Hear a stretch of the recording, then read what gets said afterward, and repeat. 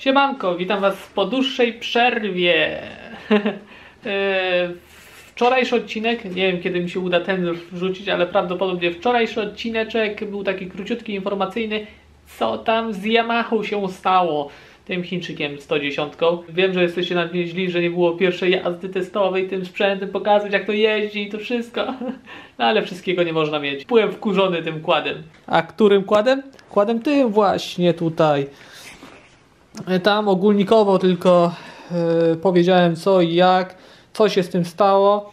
Od razu mówię, to jest silnik 50, więc tutaj nie ma szału. Jeden bieg tylko do przodu i tyle. Automat. Właściciel zdecydował się na wymianę całkowicie silnika, ponieważ ma tam drugi silnik. Na karcie społeczności Wam tą informację już dałem. Silnik 110 teraz tutaj wlatuje, yy, taki. Podobno pali, jeździ. Zobaczymy. Zostanie mi tylko zrobić tu instalację wsadzić dętki jakieś do kół i no i tyle, no i tu jeszcze poprawiać co nieco przednim zawieszenie, bo to dzieci będą tym jeździć, żeby to było w miarę bezpieczne. Cóż, pewnie kątem oka już zauważyliście, że stun skuter jest tutaj wprowadzony. E, Biorę lampkę w dłoń i Wam już mówię. Jak możecie zobaczyć, e, o kurczę, tam filtr jakiś wystaje. Oczywiście to nie będzie filtr docelowy. Trochę zimno, mogę trochę chrząkać. Nie chcę za dużo gadać w takim zimnie, bo to się człowiek nawdycha i potem będzie chory. Jak wam tu to przyświeci, żebyście widzieli, ale jest, jest gaźnik wsadzony! Wreszcie! Wreszcie gaźnik jest. Dwa adaptery musiałem zrobić. Adapter na gaźnik y, kręcony na śrubki i potem jeszcze jeden adapter, widzicie taką wstawkę blaszaną y, z średnicy większą na, większej na mniejszą, chociaż tam nie jest zeszlifowany, jeszcze jest w środku, ponieważ jest to zrobione tylko na testa na początku, czy w ogóle odpali. Więc no nie ma zbytnio co na początku yy, yy, dopieszczać tego, jakby czasami coś tam nie działało. Pomiędzy jednym adapterem a drugim jest yy, papierowa, tekturowa uszczelka, a tutaj między gaźnikiem a tym pierwszym adapterem to blaszką jest o-ring. Co mi się tu nie podoba? Po- Nie podoba mi się stator, bo przerabiałem tutaj stator ośmiocewkowy do tego. Nie pokażę wam, bo nie mam zdjęć. Było robione to na szybkości i został on tu dosłownie wciśnięty. Był po prostu za 4, centy, 4 mm za szeroki, więc musiałem z dwóch stron po 2 mm obciąć od góry i od dołu. No nie ukrywajmy, no jest, może tam lekko obcierać, więc jak będziecie słyszeć przy odpaleniu jakieś obcierania, coś w tym stylu, no to będzie prawdopodobnie obcierać magneto o stator. To się tam dotrze i będzie, będzie chodzić. Kurde, już gardło mi boli. Zimno tu jest w tym garażu, a, a ja gadam.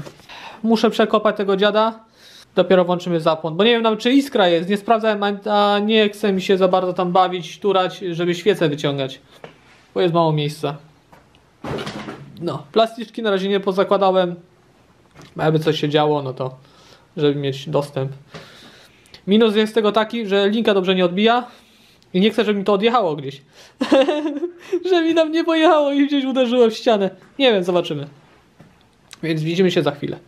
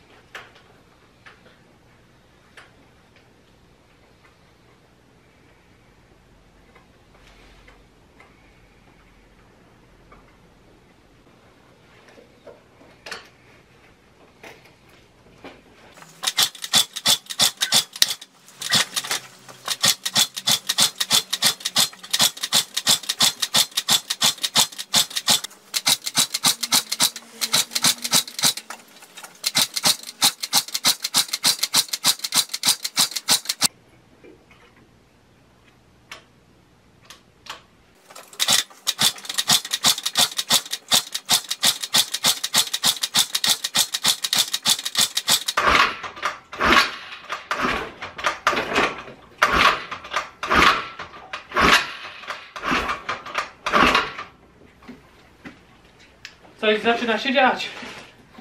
Jest próg, kurde, 3 mm i paliwo nie może tego pokonać.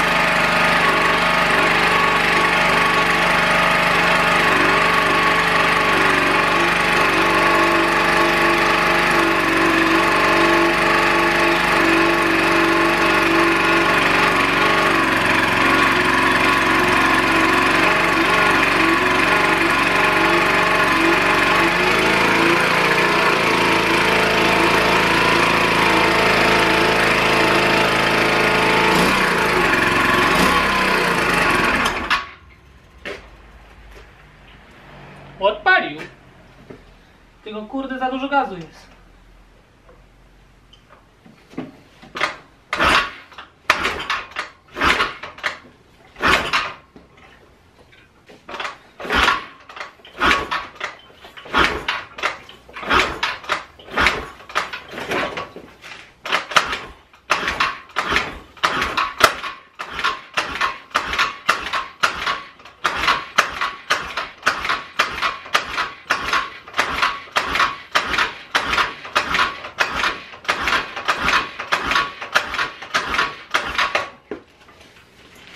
Jak widzieliście, odpalił na chwilę przynajmniej. Zmęczyłem się od tego całego kopania. Problem jest taki, że co do gaźnika, e, gaźnik nie jest pod ten silnik, więc nie wiem na początku jak on jest ustawiony, dlatego tyle kopię i ciężko ma odpalić. Nie wiem jak go odpalać na tym gaźniku jeszcze. Ustawienia i to wszystko to już inna sprawa. Gaźnik paliwa nie podaje. Nie podaje praktycznie w ogóle paliwa do... Praktycznie nie ma paliwa. To już się, to powinno być mokro, dosłownie, z tyłu gaźnika. Gaźnik jest pochylony deczko tak i na, między jednym adapterem a drugim e, proszę świecę wam. Między jednym adapterem a, a drugim e, jest uskok y, 2, takie dobre 2 mm i paliwo ma problem z gaźnika przelecieć do y, cylindra na ssaniu. E, Dlatego też są problemy z odpalaniem. E, Liczyłem się z tym, więc jak coś, to jestem pełen świadomości, że to może być przyczyną ciężkiego odpalania. Ale że odpalił i teraz się nie chce odezwać, wyciągałem dwa razy świecę i jest sucha po prostu gaźnika nie rozbierałem od nowości. On też jest coś tu mokry na dole, właśnie nie wiem czemu.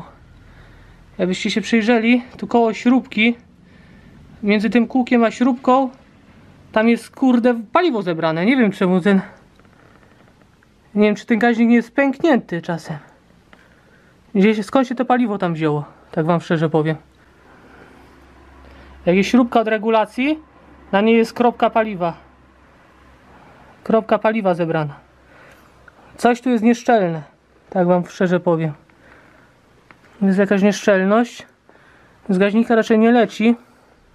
W sensie z, yy, połączenia między tymi dwoma adapterami. Jest coś z gaźnikiem nie tak.